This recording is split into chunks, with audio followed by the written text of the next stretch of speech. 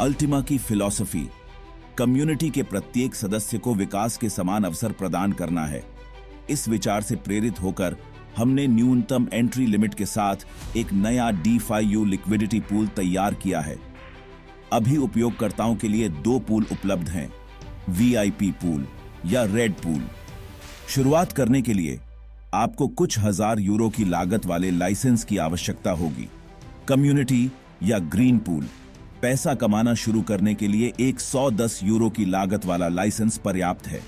Green pool, सीमित संसाधनों वाले लोगों के लिए अपना अल्टीमा बिज़नेस शुरू करने का एक आदर्श तरीका है और जिनके पास पर्याप्त मात्रा में संसाधन हैं और वे उन्हें जल्दी से बढ़ाना चाहते हैं, उनके लिए वीआईपी पूल के साथ तुरंत अपनी यात्रा शुरू करना बेहतर होगा। तो कम्युनिटी पूल कैसे काम करता है? पहला चरण, कम्युनिटी पूल में प्रवेश करने के लिए उपयोगकर्ता को 110 यूरो की लागत वाला एक विशेष यूनिटी लाइसेंस खरीदना होगा। दूसरा चरण, एक स्प्लिट कॉन्ट्रैक्ट में प्रवेश करें और विशेष यूनिटी स्प्लिट टोकन प्राप्त करें। स्प्लिट कॉन्ट्रैक्ट के लिए भुगतान करने के बाद पूल स्वचालित रूप से अल्टीमा टोकन से भर जाता है और फिर वे इसमें फ्रीज हो जाते हैं।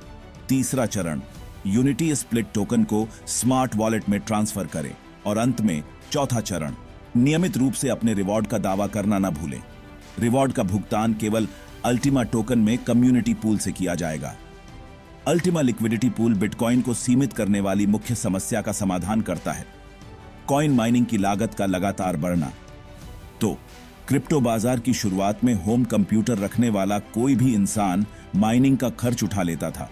पर पिछले कुछ वर्षों से लाभदायक माइनिंग करने के लिए हज़ारों डॉलर के उपकरणों में निवेश करना ज़रूरी हो गया है।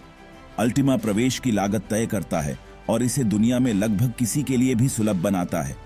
नया कम्युनिटी पूल शुरुआत में ही इसमें शामिल होकर अधिकतम लाभ प्राप्त करने और वास्तविक अल्टिमा वेल बनने का एक अनूठा अवसर है।